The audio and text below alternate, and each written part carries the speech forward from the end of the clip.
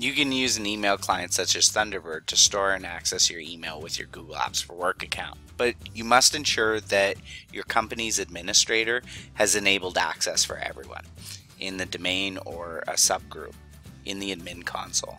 Next, each user will need to enable IMAP access for their own accounts, sign into Gmail, and click the gear at the top right and select Settings.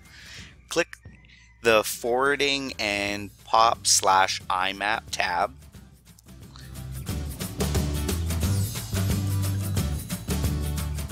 and select Enable IMAP.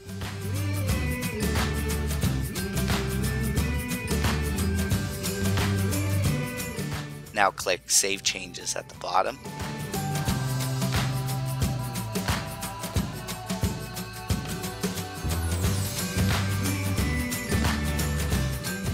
Now we're ready to configure Thunderbird to send and receive emails from Google Apps for Work. Let's open up the client, Thunderbird, and here it's asking us if we want to set up a new email address. We'll click the skip this and use my existing email. Now enter your full name, how you want it to appear when people receive your email messages, your full email address, and password. Make sure remember password is also checked. And then click continue.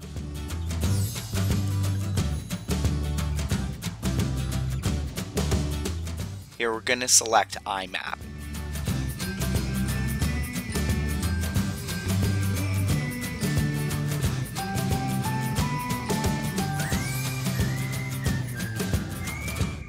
Now, an authorization window from Google will appear for you to sign in to your Google Apps for Work account. Sign in with your full email address and password. Next, Mozilla will request access to send and receive, so click Allow. Now Thunderbird will have access to your Google Apps for Work account or Gmail, and they'll be in sync using the IMAP mode. Your labels will appear as folders, and you can download messages as you read them.